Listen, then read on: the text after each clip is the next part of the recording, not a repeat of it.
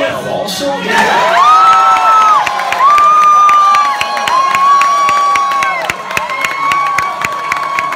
So this is uh, four years, uh, four regionals at home. Uh, it's pretty exciting. Uh, I guess that's not a lot of people who can say that they've been able to do that. So I don't really know anything different than this. So I'm excited to get it going. Uh, I'm still very grateful that I get to spend another weekend here at Lupton playing baseball in front of these fans and at this uh, stadium. So I'm really excited about that, and hope hope to play some good baseball and see where we end up. It's a special group, and we got the the honor of getting the highest seed um, in the program history. So we're really fired up about that.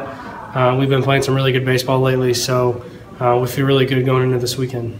It's just a great uh, thing for the baseball program to be able to you know, be a national seed, and that's uh, you know we, we all get caught up, and I get caught up the most, and uh, obviously, which is the most important thing, is to win the games. But when you look at it from a view from you know 36,000 feet, uh, to be a national seed and and get a chance to play at home and host a regional uh, that's an awesome thing for the program and something that uh, we should all appreciate.